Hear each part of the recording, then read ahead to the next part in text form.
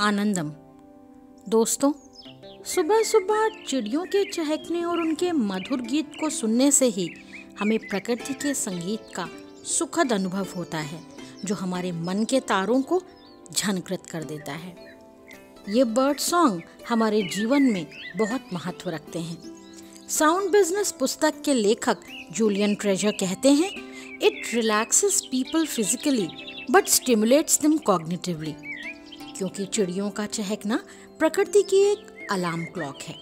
It signals the start of the day उनके मधुर गीत की ध्वनि कान में पड़ते ही पता चल जाता है कि सुबह हो गई और इसे सुनने से स्ट्रेस और एंजाइटी कम होती है और हमारा मूड भी अच्छा रहता है, जिससे हमारा मन शांत रहता है। दोस्तों, पहले के समय में कहा जाता था कि चिड़ियों का चहकना एनवायरनमेंट के सुरक्षित होने का संकेत है और उनका शांत रहना संकट का संकेत। So bird song enforce a human connection with nature मानव प्रकृति के संबंध को ये बर्ड सॉन्ग प्रदर्शित करता है। और ऐसे शांतिपूर्ण और आनंदित वातावरण का अनुभव करने से हमारी प्रतिरोधक क्षमता या इम्यूनिटी बढ़ जाती है।